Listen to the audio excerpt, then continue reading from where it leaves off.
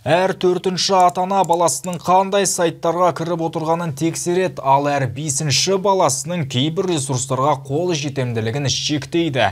Интернеттегі қауіп қатер мен баланың ғаламтордағы әрекетін қалай бақылау керек және тиктокты бұғаттау қажет пе тілші анықтады.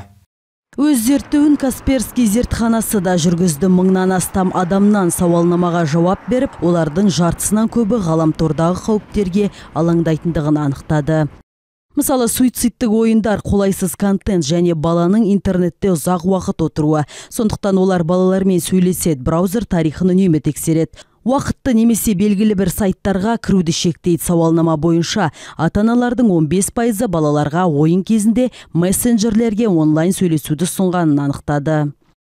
Әлеуметтік желі жасаушылары да ата аналарға балалардың тұтынатын ақпаратын бақылауды ескертеді. Сондықтан тикток фейсбук ютуб платформаларында ата ана бақылау бар. Ал инстаграмда келесі жылдан бастап енгізіледі. Көптеген телефондарда уақытты шектеу функциясы бар.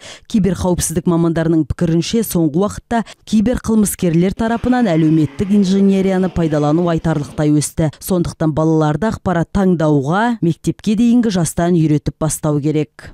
Контексте именно вот э, пост қылмыс контекстінде кез келгенді айыптауға болады бірақ кітаптарда бәрі жазылған кейін фильмдерде де көрсетілген. Барлығында белгілі бір шектеулер бар.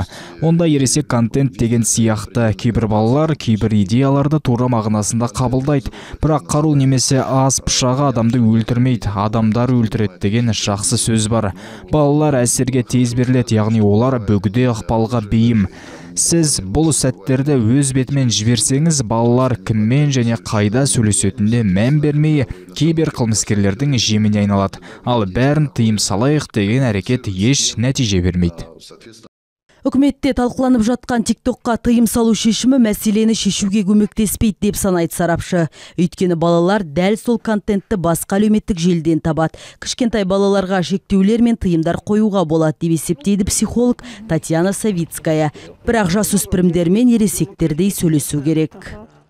Чем старше ребенок то есть примерно бала неғұрлым ересек болса шамамен 12-13 жастан бастап тек келісім керек және екі жаққа да пайдалы шарттармен келісу керек.